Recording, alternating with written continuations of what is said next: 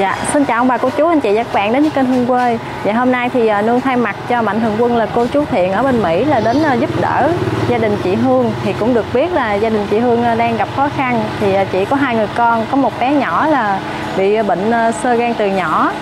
Dạ thì để hiểu rõ hơn hoàn cảnh của gia đình chị Hương như thế nào thì mời ông bà cô chú anh chị và các bạn cùng vào trong nhà với Hương nha. Thì mình vào thôi. Dạ em mới tới chưa? Dạ con mới tới cô ơi. chào cô Dạ. Dạ cô à, là sao với chị Hương á cô? à, mợ dâu Ngoại dâu. Dạ. thấy à, cháu nó bệnh vậy rồi cho nên cô cũng thấy tội nghiệp tiếng thần hơn nữa lo quá cũng không có khả năng Dạ. Ra cũng thấy à, cái chương trình này cô cũng nhờ mấy cô gì à, mấy người kia đó đợi cho cháu thôi Dạ. Thì con cũng ờ, biết hoàn cảnh của chị Hương rồi. Chị năm nay bao nhiêu ờ, tuổi hả chị? Dạ em 28 Chị 28 hả? Dạ. Rồi ờ, ông xã chị ờ, bao nhiêu tuổi? bằng tuổi Bằng tuổi. Rồi hai vợ chồng là có hai đứa con, một bé trai lớn với cháu Hạo này là một tuổi mấy hả chị? Dạ đúng Là bé bị bệnh như thế nào hả chị? Có thể chia sẻ trong sơ gan ờ, bị sơ gan với thận đa năng có voi Dạ. sơ gan bẩm sinh Là từ lúc ờ, bé sinh ra là đã bị ờ, bệnh bẩm sinh hả chị? Là Ờ, sinh ra thì đã bị bệnh nhưng mà không có biết á cái tầm khoảng sáu bảy tháng sáu bảy tháng thì mới phát hiện ra là phát hiện là chị chữa bệnh cho cháu đến bây giờ luôn. dạ đúng Bây giờ là cháu được bao nhiêu tháng rồi? dạ 15 tháng Là cháu Hạo bây giờ là được 15 tháng. dạ. Còn ờ, con lớn của chị là bao nhiêu tuổi rồi? có mới có 31 tháng 31 tháng. Là hai tuổi mấy. Dạ. Vậy ông xã chị hàng ngày làm công việc hay gì chị? thì ờ, chỉ có tiền sửa xe rồi làm ruộng thêm muốn đất làm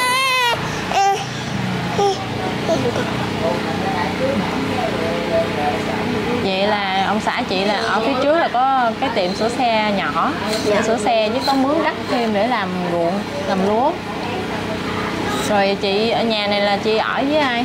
ở với mẹ chồng Vậy là hai vợ chồng chị sống chung với ờ, mẹ dạ. Rồi cô hàng ngày làm gì hả chị? thì chỉ ở nhà giữ cháu phụ tiếp thôi à chỉ có ông chồng không làm hai mẹ con người giữ cháu thì làm Anh sửa xe được không chị? cái nghiền sữa cũng không có được lắm tại vì ở đây nó vắng vẻ làm không có gì Để, để cho cô hỏi chuyện mẹ con chút ha thương con nha đừng có vậy nha thương kìa kìa kìa kìa kìa, kìa. bà nội gì kìa Vậy là cháu Hạo bị ờ, sơ gan là cái cái bụng nó, nó to gì? To hơn bình thường phải không? to thôi được không thôi. Nè ô quậy nè quậy là không có thương nha. Ngoan được thương nha. Con dán cho một em còn còn còn có gì đâu có gì đâu. Rồi vậy? xuống chị Cái này cô chú bây giờ là đỡ. Rồi. lúc mới có chuyện mà bụng nó to lắm. to rồi nó cứng rồi từ từ cái đi chợ đi sài gòn á chị cái là bác sĩ nói không có thuốc. Rồi mới về về người ta chỉ đi ờ, thấy thuốc nam á. Sốt cho bé uống được cũng lan được gần 4 tháng. Uống nó mới xẹp được vậy nó đỡ. Chị chị gửi cho cho bà nội được không? Mấy em hỏi chuyện chị đi. Cho bà nội một chút đi.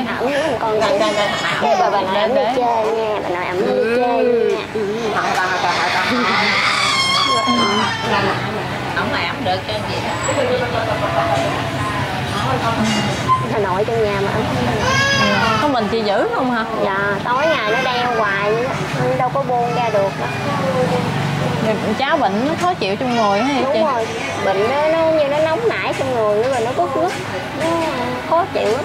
Vậy là cháu bị sơ gan bẩm sinh là cái bụng lúc sinh ra là cái bụng nó đã bự luôn cái bụng nó to nhưng mà mình cứ nghĩ như là nó nó như vậy như nó đầy hơi bình thường hoặc là nó bị ờ, bị cái gì nè ban. Ban. người ta nói ban. Rồi em cũng đi chị ban cho nó đâu được từng lễ. Trong thời gian đó chị xong chị ban đó từng lễ cái nó còn nhiều hơn dạ. bữa em mới quen em đi Sài Gòn vậy là Dạ. phát hiện bị ờ, sơ gan bẩm sinh luôn dạ. vì cháu còn bệnh gì nữa không chị Ừ, nó bị lúc trước thì đi chợ thì nó bị thiếu máu rồi nó bị ờ, nhiễm trùng máu nữa dạ Ờ, bây giờ thì chị thì máu nó đỡ lại rồi chỉ còn cái sơ gan với thận của nó rồi bác sĩ nói có cách nào trị không chị hay là Dạ. không có thuốc trị chỉ là nó di căn ra bệnh nào thì mình ờ, trị bệnh đó thôi. Chứ gan đó thì không trị được. Dạ. Vậy mà cháu có uống thuốc hàng tháng gì không chị? chị đi bệnh viện đi Sài Gòn tái khám hàng tháng. Có bệnh gì thì bác sĩ cho cái thuốc đó uống. Còn không thì mình về mình uống thuốc nam Vậy là anh ờ, với chị là mướn đất để làm lúa Rồi, rồi làm vậy có đủ thu nhập không chị? làm thì nói chung thì ờ, lời thì nó không có lời nhầm mùa thì lỗ nữa giờ đất mướn mà làm đâu có được mạnh đất nhà ta đâu đất nhà thì nó còn có lời còn mình mướn thì năm ăn năm thua nữa Dạ. Rồi hai vợ chồng chị ở chung với ờ, mẹ chị ở đây luôn hả? Mẹ chồng luôn hả? Rồi. ở đây ở chung với mẹ chồng Là nhà mẹ chồng chị đó giờ ở đây? Nhà ở đây cũng ở nhờ người ta chứ cũng không có đất nhà. Vậy là đất này ở nhờ hả chị? nhà ở nhờ người ta luôn á. Vậy là Dạ, hai vợ chồng chị với mẹ chồng là ở ờ, cái căn nhà này là ở nhờ đất của người ta. Còn nhà này là của mình cắt hay sao? Đúng chị? rồi nhà thì mình cắt nhưng mà nền thì ở nhờ của người ta. Vậy là cái nhà thì của mình mà đất thì ở nhờ của người khác. Dạ. Rồi hai vợ chồng chị về đây rồi ờ, mướn đất để làm lúa kiếm sống. Với anh sửa xe ở ngoài trước là để kiếm sống qua ngày. Dạ đúng Ờ, chị có hai người con nhưng mà không may là bé sau là sinh ra là bị bẩm sinh sơ gan từ Dạ. bé. Rồi thêm bệnh thận nữa. Dạ. Rồi bây giờ hai chồng cũng ờ, sống qua ngày thì cũng không có đủ tiền ờ, chữa trị cho bé. Dạ bác sĩ là chỉ nói là về nhà là hốt thuốc nam uống rồi chứ có bệnh gì thì lên khám cho uống bệnh đó hả chị? Dạ. Tới tháng thì mình đi tái khám tháng còn nếu như ngày thường thì nếu như mà nó có cái gì mà trở ngại á thì mình đi bệnh viện cho người ta coi lại thôi. Dạ. Vậy cũng tội cho bé mới sinh ra đã bị cái chứng Dạ. bệnh ờ, sơ gan bẩm sinh rồi. Nó sẽ nó, nó di căn bệnh này bệnh kia hả chị dạ đúng rồi người ta nói từ từ nó sẽ di căn ra. Phổi nè rồi tim nữa. Rồi bây giờ là lách gan cũng là đang to dần lách với gan cũng đang to rồi Dạ. cháu cũng đang ờ, di căn vào bệnh thận. Dạ. Thì hôm nay em đến đây để ờ, tìm hiểu ờ, hoàn cảnh gia đình của chị như thế nào thì cũng được biết là chị cũng đang gặp khó khăn. Thì không may là cháu cũng bị bệnh ừ, tiền thuốc men hàng tháng để lo cho cháu nữa. Thì hôm nay em đến đây trước tiên là thăm chị với cháu Hảo. Sau đó là em cũng thay mặt cho Mạnh Thường Quân là cô chú Thiện ở bên Mỹ là gửi cho cháu số tiền 2 triệu nha chị để ờ, cho cháu ăn uống với tiền hút men hàng tháng chị có đi Sài Gòn khám bệnh cho cháu thì cũng ờ, có tiền để ờ, đi lên tiền xe này kia rồi đi lên lo cho cháu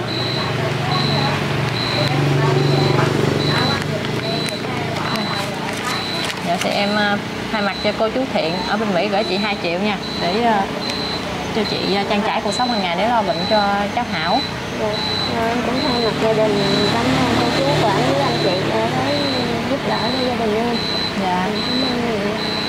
À, tôi là vợ dâu cũng à, gửi lời nói với cô Dạ. và gửi lời với nói mấy chú ở Mỹ để cho gửi lời cảm ơn dạ và cháu nó gặp khó quá giờ cô chú phải giúp đỡ giùm Dạ, thì con cũng cảm ơn cô thì Dạ. à, cũng nhờ cô con cũng được biết đến à, hoàn cảnh của chị Hương với cháu Hạo thì chị cũng gặp khó khăn thì con cũng thay mặt cho mạnh thường quân đến à, giúp đỡ chị một phần nào đó trong cuộc sống nha chị.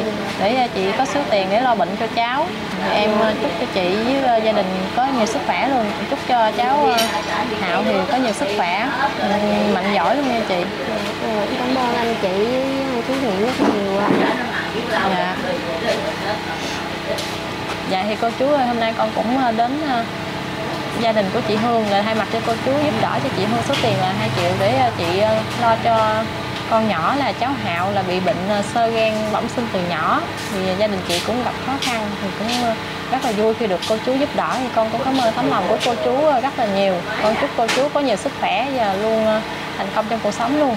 Dạ. rồi em chào chị con chào cô con về nghe cô. Dạ, dạ thì uh, nương cũng vừa mới uh, thay mặt cô chú thiện giúp đỡ cho bé hạo. Xong bây giờ thì cô chú thiện cũng muốn giúp đỡ bà ba một phần nào đó trong cuộc sống. Thì bây giờ nương cũng đến nhà bà ba rồi thì mời ông bà cô chú anh chị các bạn cùng vào trong nhà với nương nha. Cô ơi được Dạ. lên 400 con mới tới bà ba rồi. Không dám đi bệnh viện đi đi bệnh viện tư lấy thuốc 7 ngày. 7 ngày là 300 ngàn. Chứ không dám rồi vô trọng cũng chết mà ở nhà cũng chết. Đường lên cao hả bà ba? Ở mai đường đâu có ai lên bữa hổm mà. Thì à, chết lên chết xuống. Đây bữa hổm ai cho tiền rồi. Tính chết rồi hai con mắt không thấy đường. Mà nó cô từ cái họng này đi xuống tới dưới này luôn. Đó. Rồi bữa hổm bà ba có đi chích thuốc không? Chích thuốc không. Lớp nào uống thuốc nam lớp nào chích rồi ông bảy ông chở đi bệnh viện là ngay chỗ lộ tẻ bệnh viện tư đó. Dạ. Thì hổm gà là đường bà ba lên cao nhiều lắm hả bà ba? Từ lên 400 cao quá trời cao luôn. Ừ là quá cao. Rồi lên trên à, rồi cho thuốc uống hạ đường huyết xuống hả bà ba chưa có biết nữa mình chưa có biết sao mà điều đỡ đỡ được. Cho thuốc gì uống rồi thấy đỡ rồi Ờ. dặn chừng nào vô tái khám nữa à, từng lễ từng tuần lễ. nữa là vô tái Ừ. khám nữa. Chứ bây giờ không chấp chích vậy bà ba đi ờ, chỗ khám tư hả? Ờ khám tư với lộ tẻ mình á. Chứ còn đi nhập viện thôi sao tôi gầu quá bé ơi. Dạ. mà bây giờ có cái gậy rồi. Giờ bà ba chống gậy đi hả? Ờ chống gậy rồi. Giờ còn ba bà ba chạy xe đạp nổi không Ừ, lên mình kèm kèm cái chắc chắn đó kèm cái chắc chắn đó đừng có té. Sợ té. Vậy là bệnh bà ba giờ là đường lên cao Ờ. đi nhập viện thì không có ai nuôi hết. Ờ, với lại không cũng nuôi. không có tiền để ờ, trang trải nữa đúng dạ không không có xây tiền xây trải dạ. Bữa hổm nhờ cho tiền đó. Chích tới bây giờ luôn bữa chích không. Dạ. Chích à, trên cô văn chích rồi cái cô văn nói thôi đi đi nhập viện đi. Trời ơi đường gì đến 400 ở đây. Cao dữ lắm ờ cái thằng em nó chở vô bệnh viện tư nó nói thôi má ơi ở bệnh viện tư đâu có ai đâu nuôi đâu.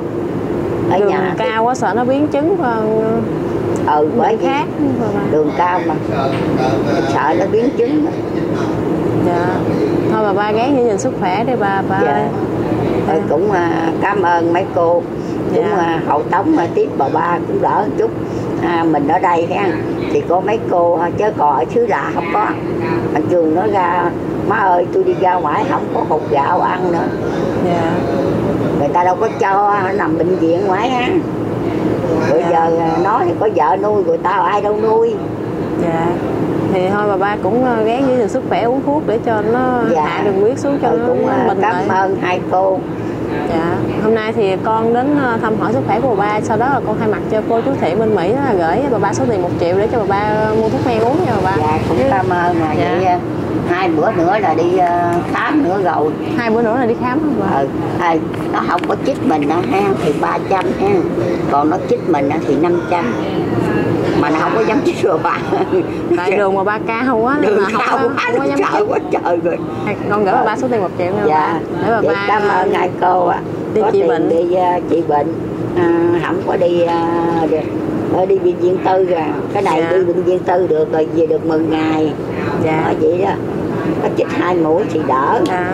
Thì Mà cô cái- dạ thì cô chú cũng mong giúp đỡ bà ba một phần nào đó để Dạ. bà ba trị bệnh vậy nha à, từ lỡ rồi um, à, nói chú à, nào đó ha dạ cô chú giúp thiện ờ, ờ, chú Dạ. thiện cũng ban ơn dữ lắm dạ tối ngày nằm võng đi đâu đi xa Dạ. mình làm đi vô tới cửa đó đáy à. chứ đi cái nó té cái gầm nó trong mặt đó bà ba ở Trong ở dáng. ở ờ, chán chán chán chán mặt mày vậy đó rồi dạ cái à, nấu ờ, bà ba uống thuốc nam không? Còn thuốc nam cũng uống mà thuốc tây cũng uống tối Dạ. thì chích thuốc uống thuốc con văn nhiều thứ chị đi dạ bà ba cũng đỡ. uống đủ thuốc hết luôn. Ờ đủ thuốc vậy đó. Ngày sáng này nấu miếng cá chua mà bữa nay không ăn được cái miếng gì chứ. Mới bắt cái nồi cháo lên đó. Dạ. Thôi thì ờ, con cũng ờ, mong bà ba giữ gìn sức khỏe dạ cảm ơn nha cô. Dạ. tội nghiệp hai cô còn Dạ. bữa nay cái cậu đó đi đâu mất rồi? Dạ đi ra đồng ba dạ dạ. Ờ vậy cảm ơn hai cô nhiều nha tội nghiệp. Ở đây cũng nhờ ủng hộ ha. Dạ. Bà ba hôm nay cũng nhờ đỡ khổ quá. Chứ không thôi. Dạ. Bà đâu có mang có tiền. Bà ba cũng lớn tuổi không có làm gì có tiền. 73 tuổi rồi. Rồi sống với cháu mà nuôi cháu Ừ. đi học nữa. Sống với cháu đi học trời ơi cũng nhờ ha thấy hoàn cảnh bà ba cũng khổ nữa Khổ thôi quá, khổ. giúp được phần nào đó cho bà ba Dạ. nha ba rồi Dạ. con chúc bà ba nhiều sức khỏe luôn dạ Rồi, con đi nhờ nha, nhờ cô dữ lắm nha chứ Dạ. cô đó nó hai cô nha ủng hộ bà ba trời bà ba mừng dữ lắm mừng nha Dạ. Dạ, hôm nay à, thì Nương cũng rất là vui khi được thay mặt cho cô chú Thiện ở bên Mỹ là đến giúp đỡ cho gia đình của chị Hương là bé Hạo là bị à, bệnh à, xơ gan từ nhỏ. Dạ, bệnh sơ gan bẩm sinh. Và bà ba thì con cảm ơn tấm lòng của cô chú Thiện rất là nhiều đã giúp đỡ cho cháu và bà ba trong lúc khó khăn. Thì con cũng ờ, cảm ơn tấm lòng của cô chú. Thì con chúc cho cô chú có thật nhiều sức khỏe luôn bình an và có nhiều niềm vui và hạnh phúc nha cô chú. Dạ thì video đến đây cũng ờ, kết thúc. Dạ xin ờ, chào